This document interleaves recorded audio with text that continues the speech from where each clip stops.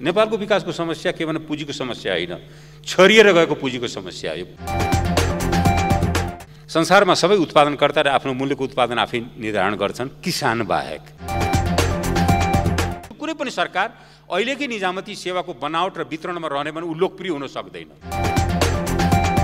मान्छे मरेर गएपछि पनि घर घरानाबाट उसुल हुनुपर्ने बेरुजु हो। यो मेरो जीवनको अनुभवको विषय हो। त्यो कृषिमाथि बयासी पर्सेन्ट लगानी हुन्छ र अठार पर्सेन्ट कृषकमाथि लगानी किसानमाथिको लगानी हो। जर्मनीमा जो विश्वको छैठौँ इकोनोमी हो आमाको नामबाट नागरिकता प्रदान गर्ने पनि संविधानमै उल्लेख छ। दलविहीनताको आधारमा नै गर्नुपर्छ। हामी कहाँ तिन दर्जनभन्दा बढी ब्याङ्कहरू छन्। सत्य तथ्य निष्पक्ष अनि खोजमूलक समाचारको साथमा एभरेस्ट न्युज माननीय सदस्यहरू आर्थिक वर्ष दुई हजार उनासी अस्सीको लागि नेपाल सरकारको वार्षिक नीति तथा कार्यक्रमको विभिन्न बुदाहरूमा छवटा संशोधनका सूचनाहरू प्राप्त हुन आएको बेहोरा जानकारी गराउँदछु। मान्य सदस्यहरू अब संशोधनकर्ता मान्य श्री हृदय त्रिपाठीलाई आफ्नो संशोधन पेस गर्न गर्दै छलफलमा भाग लिन समय दिन्छु समय सात मिनट। सामान्य सभा महोदय यस विषयमा अब अहिले भर्खरै संसदको प्रमुख प्रतिपक्षका नेताले धेरै कुरा राखि नै सक्नु भएको छ। र उहाँको प्रयोग गर्नुभएको समयको एक चौथाइ भए पुग्छ मलाई। त्यो त्योभन्दा बढी नचाहिएला। महोदय यसमा कार्यक्रम त छ अलिकति नीति भएन। नीतिगत समस्या छ यहाँ यो नीति र कार्यक्रममा। परम्परागत छ साथसाथै मैले केही जो संशोधन राखेको छु छ बुँदामा पहिलो बुँदा नै स्थानीय तहको निर्वाचन दलीय आधारमा हुनु हुँदैन र नभई स्वतन्त्र आधारमा गरिनै छ भन्ने यसका केही आधारहरू के छन् हामीले सबैभन्दा शक्तिशाली स्थानीय तहका निर्माण गरेका छौँ विश्वमा। यसको यसको निर्वाचन प्रणाली पनि प्रेसिडेन्सियल फर्म अफ इलेक्सन छ। मलाई लाग्छ अजम्बरीका बुटी खाए जस्तै हाम्रा स्थानीय तहका पदाधिकारीहरू हुनुहुन्छ। प्रधानमन्त्री राष्ट्रपति लगायत सबै सभामुख सबैमाथि हामीले अविश्वास अथवा महाभियोग लगाउन सक्छौँ तर स्थानीय तहका यी साथीहरू जो निर्वाचित भएका छन् प्रेसिडेन्सियल फर्म अफ गभर्मेन्टले उहाँहरूमाथि नियन्त्रण गर्ने न त अविश्वासको न महाभियोगको न प्रत्याह्वानको कुनै व्यवस्था न कानुनी व्यवस्था छ न त संवैधानिक व्यवस्था संविधान चुकेकै हो यसमा। त्यस कारणले पनि र एउटा दलीय आधारमा निर्वाचन जानुभन्दा पनि यो जुन इकाइ हो जो चाहिँ हामीले सोचेका छौँ यसले गर्दा योग्य र क्षमतावान व्यक्तिहरूको रूपमा प्रस्तुत हुने एउटा वातावरण निर्माण गर्नुपर्छ जुन अहिलेको रिजल्टले देखाइरहेछ म नाम लिन चाहन्न। काठमाडौँ धरान लगायत लगायतका जुन रिजल्टहरूले देखाइरहेका छन्। र अर्को मतदाताले राम्रा उम्मेदवार छनौट गर्ने अवसर पाउँछन् यदि हामीले दलीय आधारमा गरेनौँ भने र राम्रा उम्मेदवारहरू प्रस्तुत हुन हुन सक्छन्। निष्पक्षता यसले बढाउँछ सेवा प्रवाह र विकास निर्माणमा सहजता ल्याउँछ। राजनीतिक रूपले जुन अस्वस्थ प्रतिस्पर्धा जुन गाउँ गाउँसम्म पुग्ने गरेको छ त्यो नभइकन एउटा दलीय तनावबाट पनि यसले मुक्ति दिलाउँछ। र यसले सुशासनलाई पनि बढावा दिन्छ। त्यस कारणले हाम्रो संसारमा अन्य देशमा सबै देशमा छन् तर हामीले अत्यन्त शक्तिशाली जुन निर्मा एउटा गठन गरेका छौँ स्थानीय त त्यसको निर्वाचन दलीय आधारमा नभइकन दलविहीनताको आधारमा नै गर्नुपर्छ। दलहरू ब्याक फोर्समा बस्नु पर्छ भने मेरो के अरे संशोधनको पहिलो बुदा हो। दोस्रोमा धेरै सङ्ख्यामा रहेका ब्याङ्क र वित्तीय संस्थालाई एकीकृत गरी सीमित ब्याङ्कलाई बढावा दिइनेछ। प्रस्तुत वस्तुत पुँजी अत्यन्त छरिएर रहेको पुँजी एकीकृत गरिनेछ। नेपालको विकासको समस्या के भने पुँजीको समस्या होइन। छरिएर गएको पुँजीको समस्या हो। पुँजी अत्यन्त छरिएर गएको छ र त्यसले गर्दाखेरि हामी जर्मनीमा जो विश्वको छैठौँ इकोनोमी हो अर्थतन्त्र त्यहाँ छवटा ब्याङ्कले काम गरिरहेका छन्। हामी कहाँ तिन दर्जनभन्दा बढी ब्याङ्कहरू छन् र यी ब्याङ्कहरू र वित्तीय संस्थाहरूको अवस्था कस्तो छ भने यसले एकातिर त्यो पुँजीलाई औद्योगिकरण गर्नबाट यसले रोकिरहेको छ। अर्को चाहिँ के छ भने यो आयातमुखी जुन कामहरूलाई आर्थिक गतिविधिहरूलाई मात्रै यसले बढावा दिएको छ र उत्पादनमुखी लगानीमा यसले उद्देश्य उदासीनता देखाएको छ।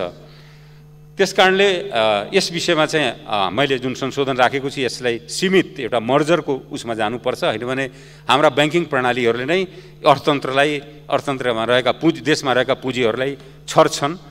तेस्रो चाहिँ हाम्रो मेरो संशोधन के छ भने कृषि उपजको मूल्य निर्धारण गर्न सङ्घीय मूल्य निर्धारण आयोग गठन गरिनेछ। सभामुख महोदय संसारमा सबै उत्पादनकर्ताले आफ्नो मूल्यको उत्पादन आफै निर्धारण गर्छन्। किसान बाहेक।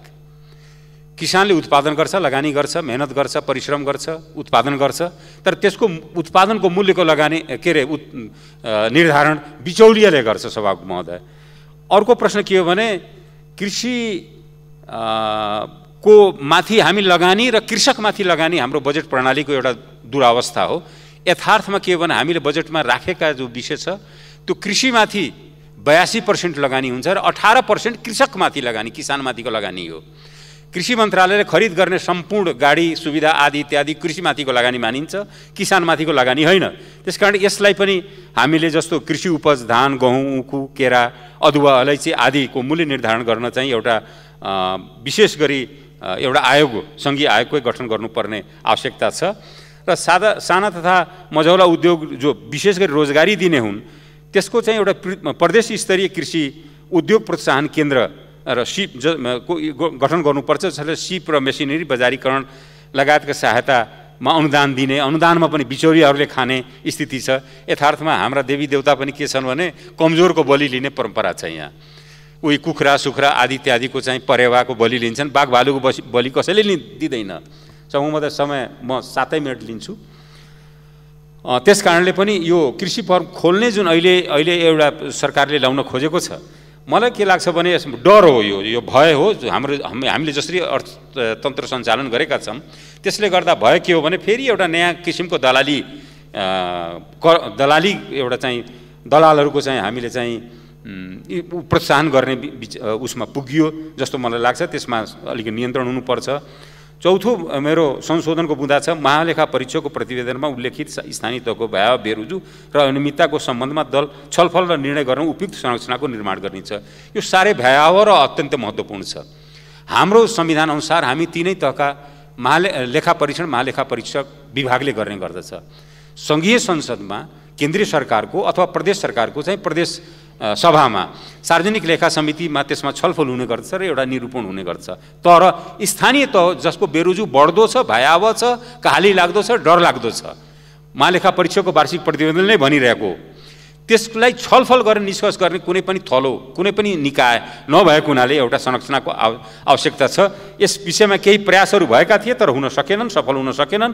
यसमा के पनि हो भने दलहरू आफ्नो राजनीतिक कार्यकर्ताको कुकृत्यलाई बचाउनको लागि सधैँ बचाउने जुन एउटा परम्परा छ त्यस अनुसारले पनि उहाँहरूले अगाडि नबढेको तर एउटा कुरा हेक्का के रहोस् भने यो बेरुजु मान्छे मरेर गएपछि पनि घर घरानाबाट उसुल हुनुपर्ने बेरुजु हो।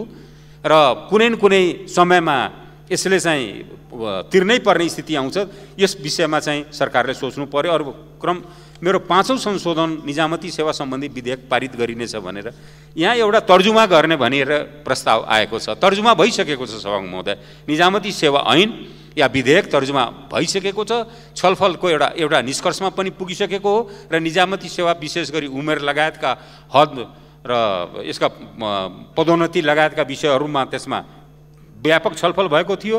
तर अहिले आएर जुन तर्जुमा गर्ने भनिएको छ यसले चाहिँ एउटा नयाँ फेरि सरकारले ल्याउन खोजे हो कि या यदि त्यो हो भने यो एकदमै स्थिति के छ भने यसले अप्ठ्यारोमा निजामती सेवालाई पार्छ किन यसको बनावट र वितरण आफैमा त्रुटिपूर्ण छ र कुनै पनि सरकार म यही रोस्टमबाट भन्दैछु कुनै पनि सरकार अहिलेकै निजामती सेवाको बनावट र वितरणमा रहने भने ऊ लोकप्रिय हुन सक्दैन। यो मेरो जीवनको अनुभवको विषय हो र म यहाँ किटानीको साथ भन्दैछु त्यस कारण तर्जुमा गर्ने होइन जुन अगाडि बढिसकेको छ त्यसमा फेरि परिमार्जन गरेर छलफल गरेर ल्याउन सकिन्छ। क्रम छैठौँ संशोधन सभाको महोदय मेरो के हो भने ने नेपालको संविधानको धारा एघार जो नागरिकतासँग सम्बन्ध जोडिएको छ। त्यसको अक्षर र भावना अनुसार कानुन पारित गरिनेछ भने सरकारले ल्याएको अवस्था के छ भने सहमतिको आधारमा कानुन के अरे नागरिकता सम्बन्धी ऐन पारित गरिनेछ भनेर। संविधानमै लेखेको विषय एघार तिनमा संविधानमै लेखेको जुन विषय छ त्यो सबै सहमतिमा आएकै हुनुपर्छ भने मैले मानेको छु यहाँ राजनीतिक भएका दलहरूको बिच हामी केही त्यसका विरोधमा थियौँ जसमा म पनि थिएँ। त्यो संविधान जारी गर्दा म थिइनँ। त्यसको म बहिष्कारै गरे हो र विरोधै गरे हो। तर जस जसले जारी गर्नुभएको थियो त्यसले उहाँहरूकोमा सहमति हो। यस विषयमा जनको आधारमा नागरिकता प्राप्त गरिसकेका व्यक्तिको सन्तानलाई वंशजको आधारमा नागरिकता प्रदान गर्ने भनेर संविधानमै उल्लेख छ। आमाको नामबाट नागरिकता प्रदान गर्ने भने संविधानमै उल्लेख छ। त्यसमा चाहिँ अब सहमति जुटाउने थप सहमति जो संविधानले स्पष्ट व्यवस्था गरेको छ त्यसमा स थप सहमति हामी राष्ट्रिय सहमतिका आधारमा गर्छौँ भनेर जुन अहिले सरकारी प्रतिबद्धता छ नीति र कार्यक्रममा त्यो कहीँ न कहीँ पछाडि हट्न खोजेको अथवा चाहिँ यो चुनावमा त प्रचार गर्नुभयो प्रधानमन्त्री लगायत सबै नेताहरू गएर या सत्तापक्षका नेताहरूले गएर विशेष गरी मधेसमा त उहाँहरू भाषण त गर्नुभयो तर अब त्यसमा पछि पछि हट्न खोजेको जस्तो मलाई लाग्यो। त्यस कारण संविधानमा जे व्यवस्था छ त्यही अनुसारको चाहिँ कानुन पारित गर्ने सरकारले गरोस् सभागु महोदय मैले समयमै सकेँ धन्यवाद। सत्य तथ्य निष्पक्ष अनि खोजमूलक समाचारको साथमा एभरेस्ट न्युज।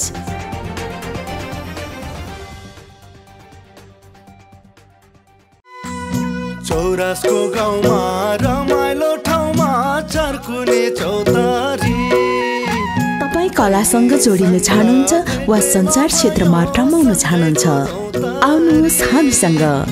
गीत रेकर्डिङ म्युजिक भिडियो वृद्धचित्र चलचित्र निर्माण समाचार सङ्कलनदेखि सम्प्रेषणसम्म